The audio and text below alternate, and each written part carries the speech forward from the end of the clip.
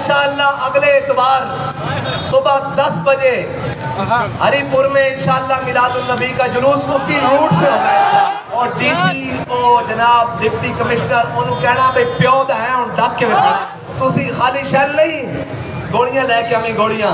उत्थे तो पहले हूँ चंद बंदे ने मिलाद का जुलूस करना सी ना।